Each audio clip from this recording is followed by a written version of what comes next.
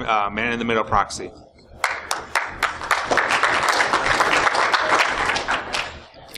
So yeah, that's the original title of the talk here is embedding web apps in man-in-the-middle proxy. That's actually not the talk you're going to get delivered today, um, but I'll go into that in a minute.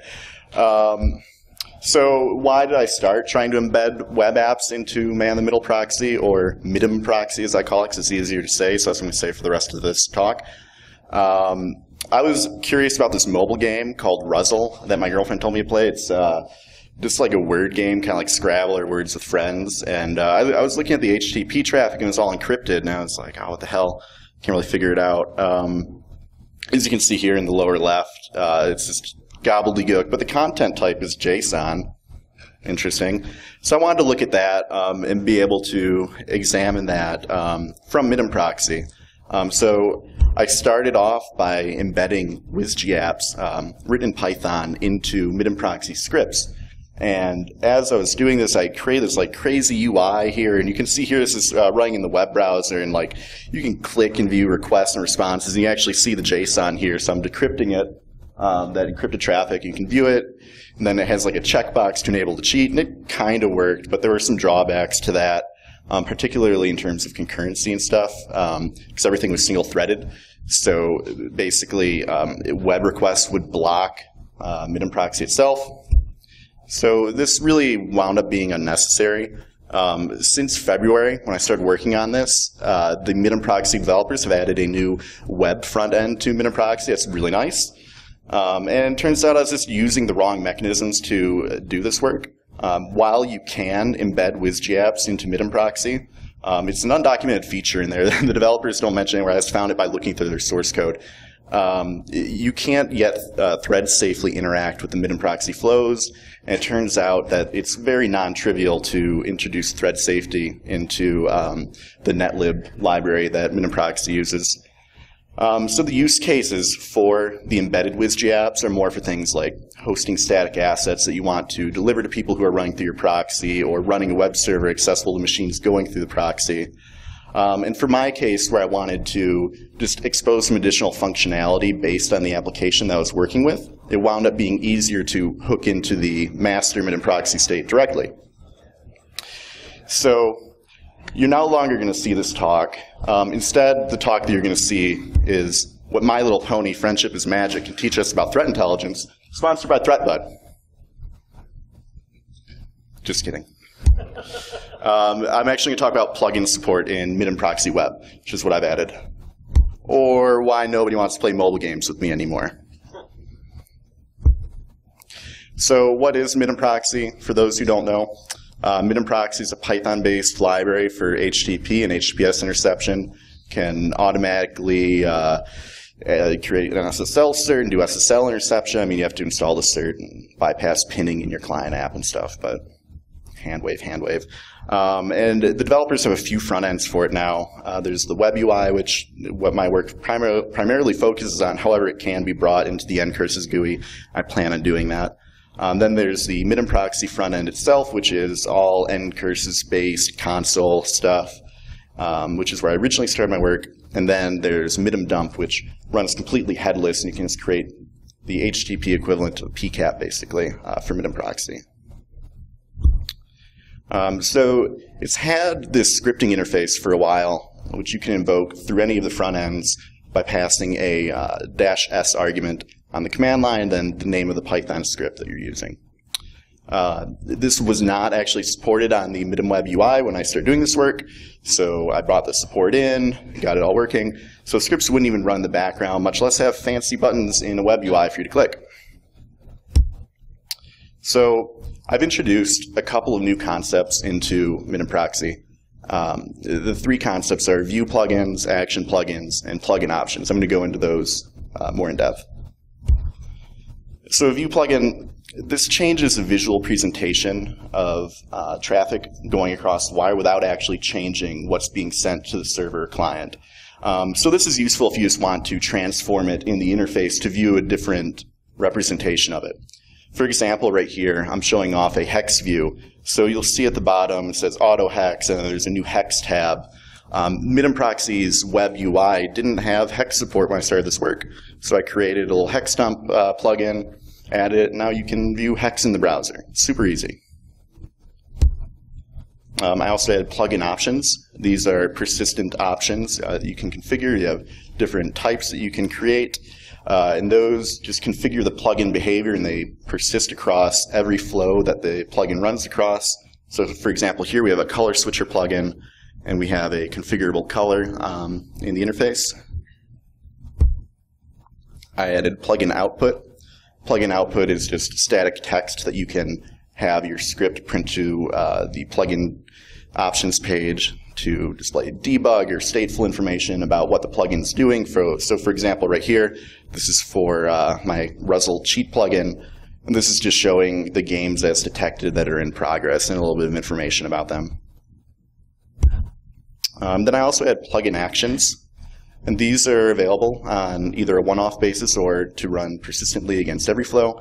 Um, so right here, this is my uh, color switcher and pig slash pug Latin plugin. Um, so the color switcher, like we saw before, you can configure a color you want to switch to. So previously, Vice wasn't so pink. Um, and then also the pig and pug Latin, well, it changes text to pig Latin and changes every image to pugs, and it makes Vice a hell of a lot more bearable. Um, so then on the plugin options page, you can also configure any plugin actions that you create to run across every flow, so you don't have to manually click on the flow and click run action again. So you can say run in every flow, and it'll go. Um, but back to cheating at mobile games. So it turns out that reversing many Android apps isn't really hard, especially crappy games. Um, you can usually get pretty good Java code out of it after you um, open up that APK and Dex to jar and poke around. Um, so finding the AES shared secret was super easy. Uh, and then the crypto IV wound up being in the request headers themselves. Wrote like a basic little routine to decrypt it, test against some traffic. It worked. Cool. Um, I noticed some other things that I thought were interesting that I just want to bring up while I was reversing the game because they were just bad ideas. Um, for example, the game had a rudimentary anti-cheat functionality built into it. Um, and so it turns out that this game's really popular. There are like over 10 million installs according to the Google Play Store. And people have made cheats for it that you can download on the Google Play Store. Um, so the game itself will check to see if any of those processes are running and then report your score as a zero. Uh, however, this is all enabled on the client and it won't help against a network attack like what I'm going to show here. Um, and then they also had partial request signing. So the headers had a signature in them, but it only extended to parameters that were actually within the headers. It didn't take into account any of the request body. So for my work at cheating at the game, I didn't even have to re-sign anything. Um, and then also the client reports your game score and everything, and the server will just accept it. It doesn't even bother verifying if the score makes sense. You could say, I didn't even play any words, but I got a million points, and it's totally fine with it. So after I wrote my little routine, I was able to decrypt the traffic, uh, which you can see on the left there. And then I used my new view plugin support to um, create a view plugin. So now we actually get JSON on the front end. Sweet. And as far as cheating goes, um, so when I first started this, I was like, oh man, we have to like look at the board and figure out every possible uh, combination of moves you can make, and then compare it against a dictionary and find words and stuff. But wound up not being necessary at all. As it turns out, they give you every possible word that you can play um, in the game requests themselves. so, yeah, I, I just kind of concatenated all these and it worked. Um, so they have a move string format that they have in there. Um, it's a little bit more Java reversing, and it was easy to write a Python implementation of it. And then suddenly I was really good at the game. You could see my score jumped an order of magnitude. Um, there was some data sent along that could possibly indicate cheating to uh, the service provider. So I was like, ah, it'd be fun to kind of fake that, fudge that around, and try and evade any possible detections. Um, so some of those things that they sent along that could indicate cheating, if you don't uh, take them into account, um, they record the swipe distance, which is the distance that your finger actually travels on the screen. Um, they also record the time that you uh, play each word. Um, so I just kind of fuzzed those. I played a couple of uh, legitimate games, and took averages and then add a little fudge factor into it, and seems to be okay. Um, so I, yeah, like I said, wrote some routines to fake all that and wrote a plugin action for it. So basically, it'll take that encrypted blob, decrypt it with the AES key and IV from the request, change the state um, to basically say that you got a bunch of points and you played a bunch of words and you're really good, re-encrypt it and send it along to the server and you get a bunch of points. And then I brought in the plugin. So what I did with the plugin, um, I created a few different things here for this game. I, I did two plugin actions. Uh, one to identify the games. This is because you can either be player one or player two, and the only way to determine if you're player one or player two is from read game request. Um, and then one to actually perform the cheating, which is against the play round requests, which say which words you played. Um, I had a plugin output option just to show the prog- in progress games that the script had detected and that it would be cheating against. And then, of course, I implemented that view plugin um, that would show the decrypted traffic on the front end without actually affecting on the wire. Of course, all this work goes beyond games. Uh, kind of use your imagination here. There are a lot of possibilities. Um, in any circumstance where you want to do any sort of dynamic content replacement or data extraction or exfiltration or have use case specific data views, could come in handy.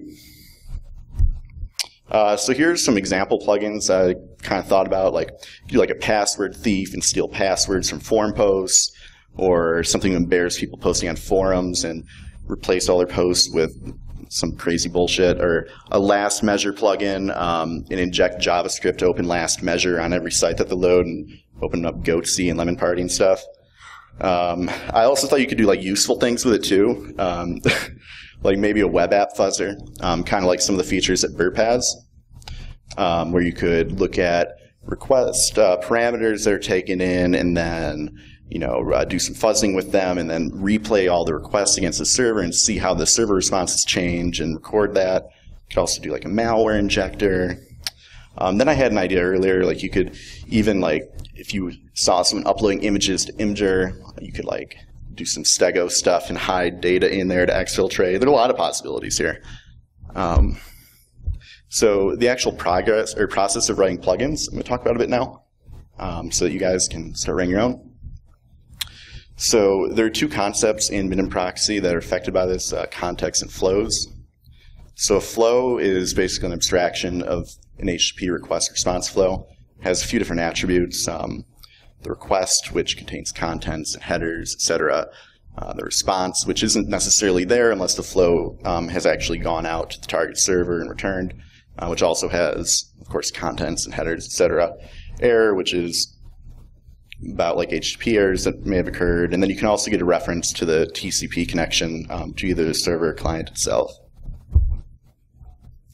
Then the context uh, contains a handful of useful utility methods that come in handy when writing scripts. Um, so it's known as a script context. Um, and the script context has a log method, which you can use to log out to the terminal. Um, you can kill a flow as it's happening so that it won't reach the server or won't reach the client. Uh, you can duplicate it. You can replay them. So basically, you can take these flows, uh, duplicate them, manipulate them, resend them, kill them, do all kinds of stuff with the script context. So I'm going to go through a couple sample plugins here and show how they're implemented, um, show how simple it is to start doing this, and like how easy it is to get these things to appear in the UI now. Um, so common to all MITM proxy scripts, they have a start method available. This takes in a context and some arguments, uh, which are taken from the command line. Um, so basically right here, we start off by uh, defining our transformation method for this view plugin, which is our hex view. Um, every transformation for a view plugin will get a keyword argument called target, which specifies whether it's currently running on a request or response. So do a little bit of checking here to see what the target is, and then grab the appropriate um, attribute of the flow, and then grab the content. So then the next responsibility of the transformation method is to perform the transformation and then return it as a string. So the last line of hex dump is just return the hex string that we've created. And then um, at the bottom, we call context.plugins.register view. Uh, the first thing we pass is an ID for the plugin, and then you can pass a title for it, and then you specify what your transformation function is.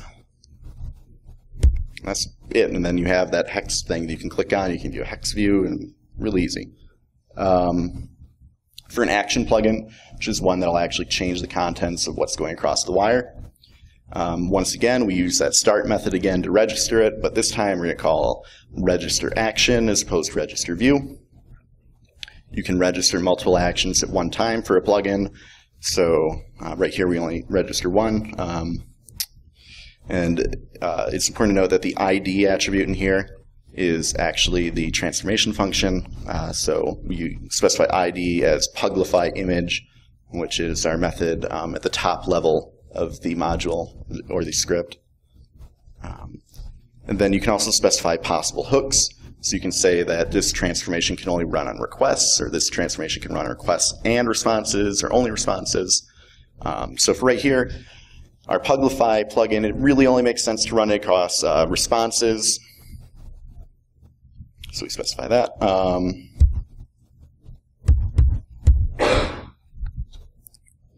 and then you can also specify a beginning state for the action. Um, in this case, we're specifying every flow as true, which means that it'll come pre-configured to run against any flow that passes through it as soon as you uh, start up MITM proxy. Uh, and then our actual transformation function um, is pretty straightforward. Um, basically, we just check the content type, see if it looks imagey. Um, and then also because web developers are terrible, they don't always use content types. So we also just check for a JPEG magic string. I mean, you could make it way more robust. I just this is a proof of concept. Then you know, grab our pug image and replace the contents with it. call it a day. So for a more complex example that uses options, um, I have one here, our color switcher. Um, so this one will replace instances of hex color codes in either CSS or HTML files uh, with a, a, color that you can configure in the UI. So we set to a nice pink here, and we turn vice pink. Um, the action step, again, should be familiar. Um, but we create another action here called disable cache. This one will just add some cache control headers and stuff to the uh, request to turn off client-side caching. That way, can ensure that we uh, get a fresh CSS file that we can change colors on. Um, we also specify our options keyword argument here. Um, and in that, you know, we specify that we have one text option called color, and we specify a default value for it. Um, you can specify different types. They can, you know, be drop downs or text or checkboxes, etc. And you can also take a default value. So our two transformation functions are right here, disable cache and colorify. Um, disable cache runs only on the request, of course, adds that no cache, um, and changes the if modified since header if it's present. Uh, our color function um, right here basically just looks at the content type, sees if it's CSS or HTML. If it is, just runs a cheesy little regular expression on it to replace the color. Um, now the important here, important part here to note is how to actually get that option value. Uh, so we call context.plugins.get option value. We specify the name of our plugin, then the name of the option whose value we want to retrieve. Uh, in this case, it's the color switcher plugin and the color option.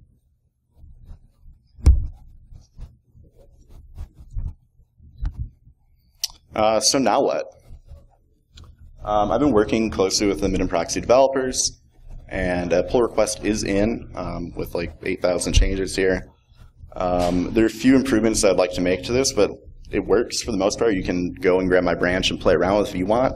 Um, the developers are also really, really cool people and really open to pull requests and really helpful if you hop into their Slack. They'll tell you anything about the code base you want to know. Um, so I want to make some improvements to it, like I said, basically code style, um, make it match the rest of the code base that they have there. Um, also finish out the unit test I started writing for it add more option types uh, for the UI, maybe add some kind of composition or ordering for plugin action execution, though I think that's really not even necessary. And then just UI enhancements. The CSS is a little wonky still. So how can everyone here start using web plugins now? Uh, well, it's not integrated to the master branch yet, so here's a discussion I had with uh, Max, one of the developers, yesterday. Um, he said he's looking at today, so maybe it'll be up today. I don't know. Um, but for now, you can grab my branch on GitHub. Um, so here's some resources for everyone. Um, I have all my example scripts here. You can grab on GitHub. You can also grab my MITM Proxy branch uh, with the web plugin support. And the main MITM Proxy site is here, and they have tons of documentation and examples and stuff. It's really great. They put a lot of effort into it. Um, so I would like to say thank you to the MITM Proxy developers for all their hard work in making this awesome tool, and for all their work in answering all my noob questions about their code base, like how is this supposed to work? So thanks, guys. um, and then if anyone has any questions, uh, you can just kind of grab me or hit me up, email or Twitter or whatever. That's all I have for you.